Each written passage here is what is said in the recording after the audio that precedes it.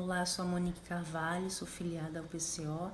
e eu venho através desse vídeo prestar meu apoio e solidariedade ao partido que teve incluído no inquérito das fake news e teve todas as suas redes sociais derrubadas de uma só vez. Eu aproveito para convidar todos para a conferência que vai acontecer no dia 25 e 26 de junho, que vai ajudar a gente a construir essa luta é, pela liberdade de expressão e contra essa ditadura do judiciário que está sendo implantada no nosso país.